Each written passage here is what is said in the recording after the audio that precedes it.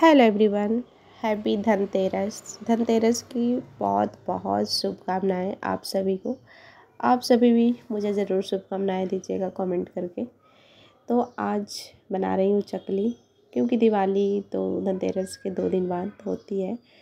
तो सभी के घर में कुछ ना कुछ मिठाइयाँ बनती हैं तो हम यहाँ पे आज चकली की वीडियो डाल रहे हैं।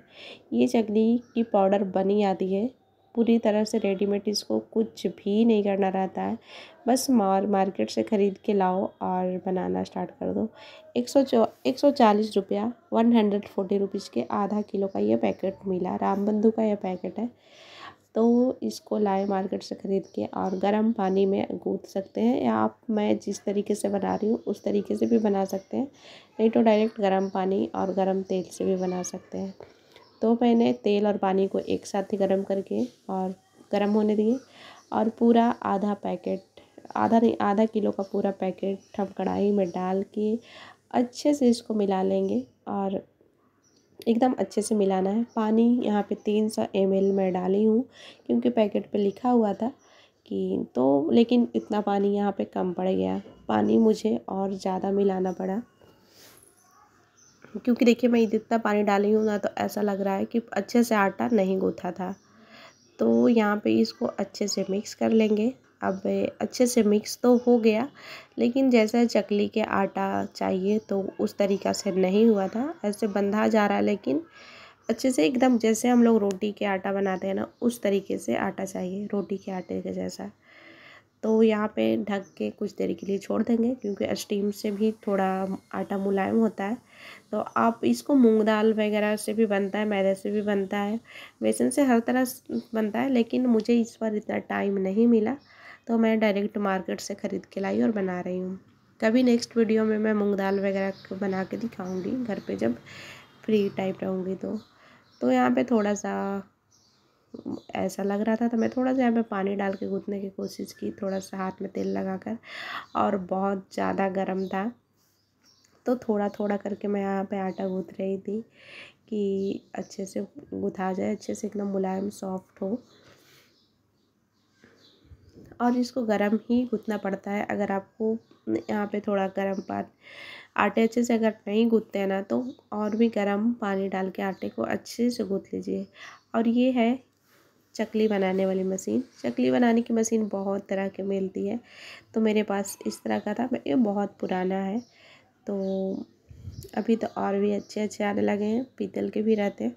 तो आप अपने अनुसार जैसे भी लेना होगा ले लीजिएगा। ऑनलाइन भी ये मिलता है। चकली मशीन से अगर ऑनलाइन पे आप सर्च करिएगा तो वहाँ मिल जाएगा। तो इसमें अच्छे से तेल लगाना है। आप ब्रश की सहायता से लगा सकते हैं। मैं तो ऐसे उंगली से लगा दी क्योंकि फिर एक और बर्तन ज़्यादा हो जाता है ब्रश धोना पड़ता। कभी कभी ऐसा लगता है कि बहुत फेस्टिवल में इतना ज़्यादा काम हो जाता है कि लगता है हर काम शॉर्टकट में करें, लेकिन काम बढ़ते ही जाता है। तो इस तरह से उसमें जितने भी आटे थे अच्छे से गूँथ के और इसको कस देना है। और अपना जलेबी के जैसा चकली बनाना स्टार्ट करना है। बहुत सारे इसमें प्लेट दिए थे, लेकिन चकली की जो डिज़ाइन होती है ना ऐसे ही होते हैं।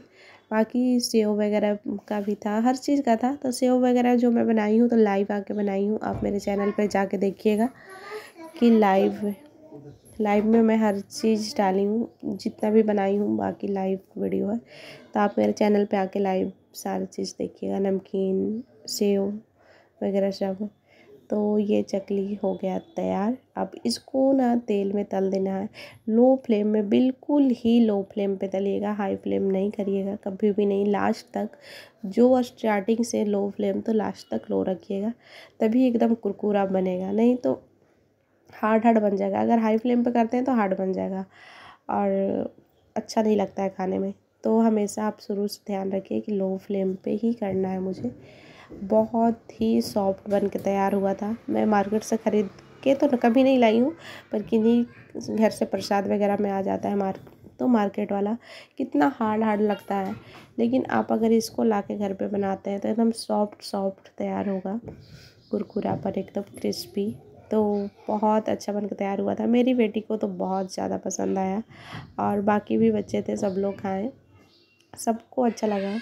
तो आप लोग की यह वीडियो कैसी लगी ज़रूर बताइएगा। और आप दीपावली में क्या क्या बनाते हैं तो वो चीज़ मेरे साथ शेयर करिएगा। हो सकता है कि अगर उसमें से मुझे कुछ बनाना हो या नहीं बनाना आए तो मैं आप लोग से पूछ कर ज़रूर बनाऊँ, बताऊँ, बनाऊँगी। और अपने बारे में बताइएगा कि क्या क्या करते हैं, क्या। तो हो गया, ये चकली बन के रेडी। बस अब इसको खा लेना है। ऑयल थोड़ा ज़्यादा लगता है। देखिए, यहाँ पे लो फ्लेम के कारण ना छाक बन जाता है कहीं कहीं से बड़ी हो बीच बीच में से। तो पूरी एक थाली बनके हो गया तैयार। मार्केट में यहाँ पे अस्सी रुपये पाव ऐसा आता है। अस्सी रुपये पाव मिलता है चकली।